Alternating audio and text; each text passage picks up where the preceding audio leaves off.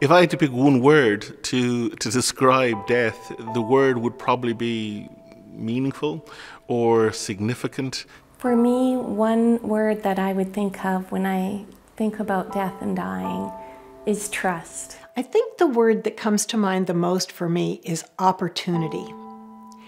We have an opportunity, if we're the patient, of showing our trust in the Lord, of allowing people to care for us, of working through things that we've had a hard time with in our whole lives, and having some healing. If I had to, and you know, if we're talking from a Christian perspective, I think Jesus does give one image that is useful. He talks about unless a grain of wheat falls into the earth and dies, it remains alone.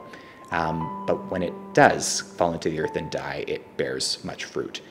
And so there is this element of the sadness of the, the, the loss, the privation, etc. But it does bear fruit. And I think, you know, if that image perhaps highlights the maybe the merciful aspect of death a bit more, that's probably because the Christian tradition holds on to the hope that death is not the end and the suffering, the loss that we experience as real and as horrible as it is, is ultimately outweighed or eclipsed by uh, the weight of glory that the Christian hope promises.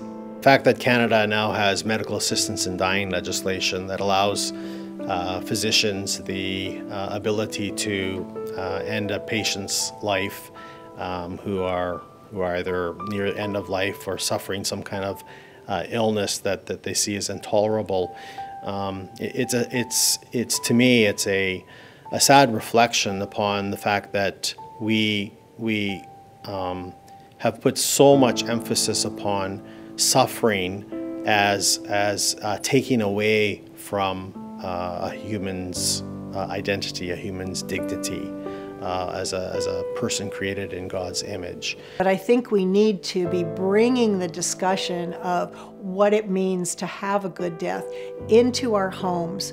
We need to be thinking about having a good model for our children and our grandchildren about what it means to have a good life.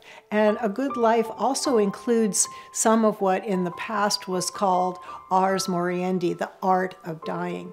One of the great tragedies, I think, of the modern world, and indeed it's a tragedy of my life, is that I've been involved in the church for pretty much all my life, and I've never had any training in how to die. I've never had any real instruction in how to die.